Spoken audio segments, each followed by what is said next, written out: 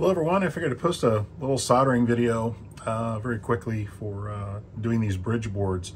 Um, the bridge boards, obviously the, the, sockets, as I said in the tutorial, you want to put the sockets on the bottom. So what I will use is uh, some painter's tape just to kind of like stick them into place so I can set them on my, uh, my bench and they hold their position. And then what I will do is I will take my soldering gun and or my soldering tool and uh, clean it off, grab the solder, and then what you want to do is you want to take the soldering iron and put it right here, like on a pin, uh, to heat the pin and the surround. And then you want to hit it with the solder right onto the pin and then lift it off. Uh, you want to use the solder on the pin and not on the iron uh, because you need it to heat up the pin to go through the layers. So what I do is I'll go through and I will basically hit one pin uh, per grouping on here or two.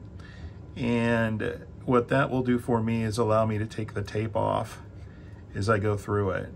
So you can tell I'm just kind of getting in there and dabbing it with this and we're gonna get this last one here. Yeah, and then we take it off.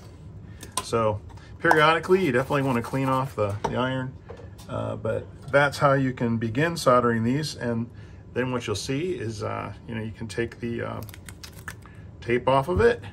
Your headers are in position now, and then you can go through and do the rest of them and touch it up as you can. Um, you want to make sure that you're uh, cleaning your soldering iron often so that you uh, don't, you know, get any buildup in there. And it doesn't take a lot of solder to go through it, so you shouldn't have any globs. And, and if you've done it right, you'll have a nice clean solder joint on it. So anyway, I hope you found this uh, educational. It'll help you out. There's a lot of pins to solder on these boards, uh, but I'll do another one uh, showing you how I do one of the larger boards. Uh, they're a little more technical because you want to install the lowest pin set first uh, and then work your way to the highest so that you can uh, get that set up. But that's how, um, how you solder these bridges. Remember, sockets on the bottom. Thanks, everybody.